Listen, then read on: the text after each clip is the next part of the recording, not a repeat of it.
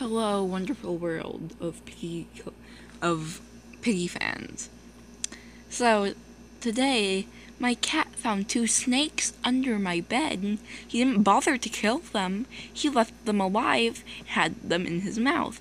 My mom made me take them outside because my dad wasn't home. I was literally freaking out. I don't like snakes. Well, I like snakes, but I don't like them under my bed. So yeah. Z's online, I'm probably gonna call her. Uh, oh yeah, um, I actually get to see Z.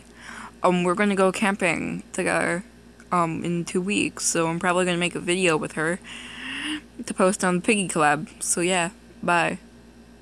And we'll snakes. I just don't like them under my bed. I just want to say that. Where's my cat? Where's that absolute? Where's that brat? Okay, my cat was being a brat before, so yeah, he's a brat.